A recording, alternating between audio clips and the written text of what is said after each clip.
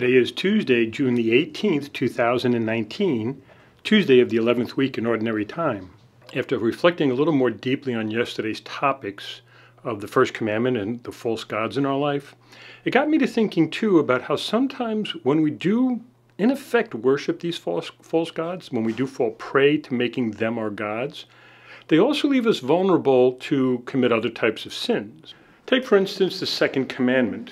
Now, when we take a look at the second commandment, we don't always think of it the way I believe we ought to.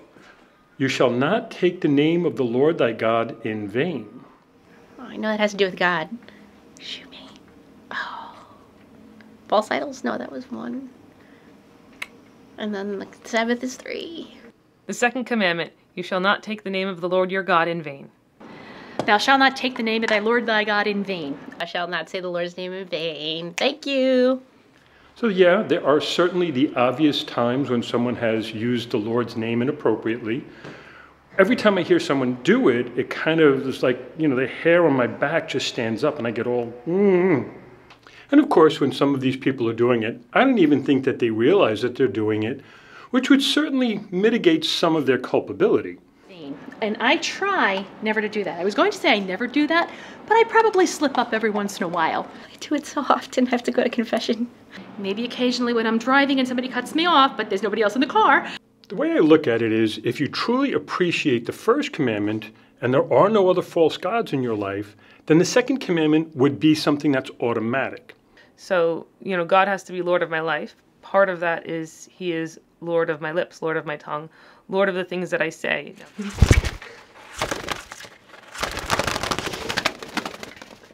We can't misuse the name of God.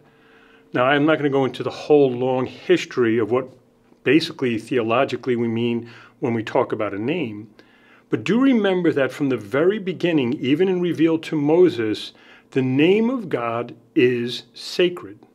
I don't think many people appreciate, though, that also the way we use God's name. So we have to be very careful by not just willy nilly saying God's name in anger or when we're upset. Now, just for a moment before I get into some of the other aspects of using the Lord's name appropriately, there's also the positive side to this commandment, and the positive side to this commandment is the prayerful side, if you will, of invoking the name of God in the beginning of prayer by saying, In the name of the Father, the Son, and the Holy Spirit and then offering your prayer, offering your praise, uniting yourself to God Himself. Also, on that positive side, we can bind ourselves to another by invoking their name. So, a lot of time when a name is shared and used appropriately, that creates a bond between two individuals. Using the name of God appropriately, then, helps create a proper bond between we his creatures, and he our creator. So Scott Hahn, kind of a big name in Catholic evangelism, and he knows a lot of his stuff about the Catholic faith and about the Bible. He breaks down uh, in one of his talks the Our Father, which has that line in it, "Hallowed be Thy name."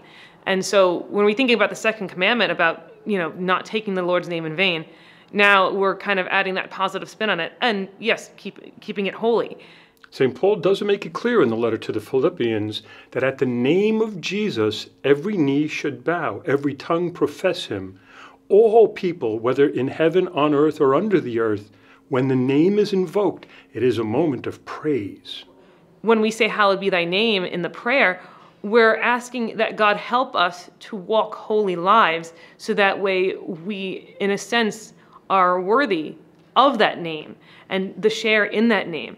Now, then to go around saying the Our Father and then five minutes later be taking the Lord's name in vain or using other profanities with our lips is just um, a complete irony. That's just a small thing that in the long run can have deep separations for us and God. Now, with that in mind, we always need to remind ourselves that the name of God is holy. As we hear in the psalm, O Lord our God, how wonderful is your name in all the earth. I know at times in frustration people invoke the name of God. I always say to them when they do, Oh, we're starting a prayer? I mean, that's one of those moments when I get some of the strangest stares back. some people will even look at me and go, No, I'm not praying. You know, like I think of that scene in the movie The Replacements when one of the other players goes, Jesus Christ. Jesus Christ. And the other player goes, You praise his name, praise his name. Jesus Christ! Praise his glory, Nigel. But there are other things about the second commandment that I think people have forgotten. And among them are things like taking oaths, especially in the name of God. And of special relevance to this commandment is making a false oath, saying that you're going to make this promise in the name of God and then not keep it.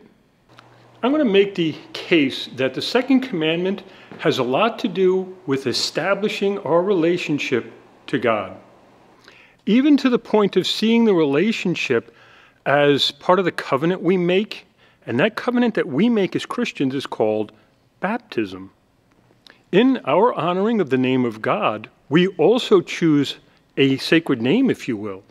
Now, our tradition has always said that when we name our children, we really ought to look for sacred names, saint names.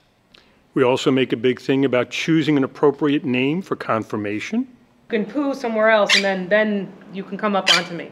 I remember reading an article at one time where it basically said having a name or having someone else's name or God's name implies a relationship but also implies that you do have a level of power over that individual.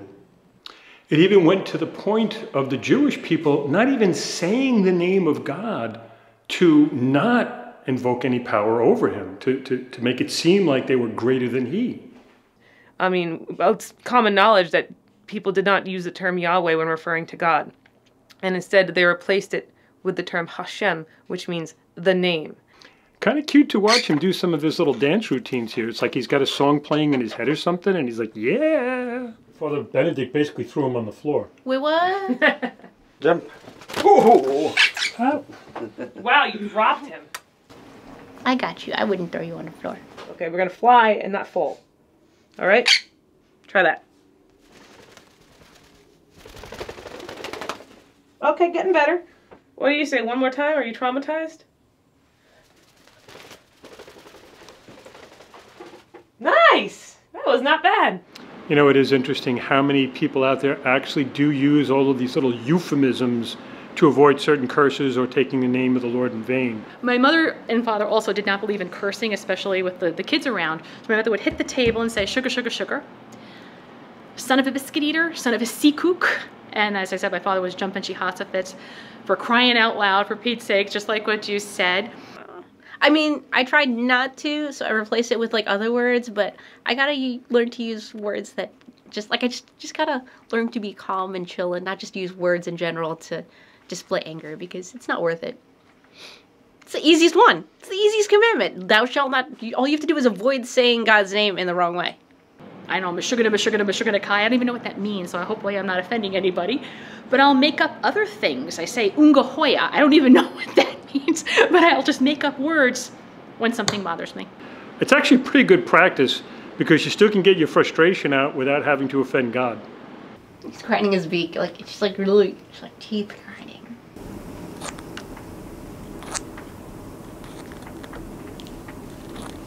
He's getting the step up thing actually, so I got him to step up onto my finger. Next thing will be come. Come. Walk. Morning walk. Come on. when was he Come on. Come on. when did he go to Come on. college? I know.